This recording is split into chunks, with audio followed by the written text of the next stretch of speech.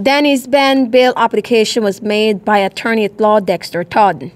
Condition of the bail is that she reports every other Friday to the Sparendaam police station and lodge her passport with the court.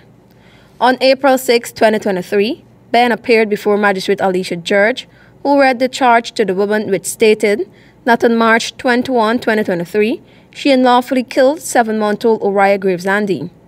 She was not required to plead to the charge and was remanded to prison. The charge was laid based on legal advice obtained by the police from the Director of Public Prosecutions.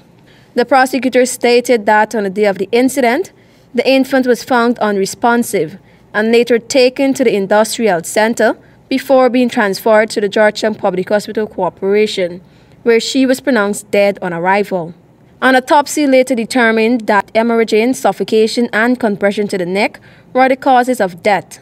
Meanwhile, a 29-year-old notorious criminal who is currently serving a 15-year prison term for manslaughter has now been sentenced to life imprisonment for a similar offense.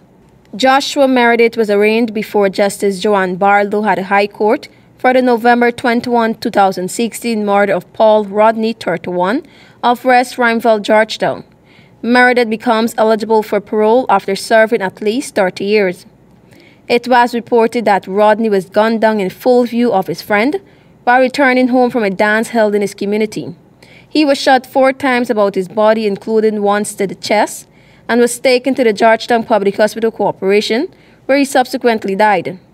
Meredith was also slapped with charges for several other matters ranging from robbery, manslaughter, and murder. Residents in the East Ruimveldt Georgetown community where Meredith grew up describe him as a notorious criminal. Tiana Cole reporting for the HGP Nightly News.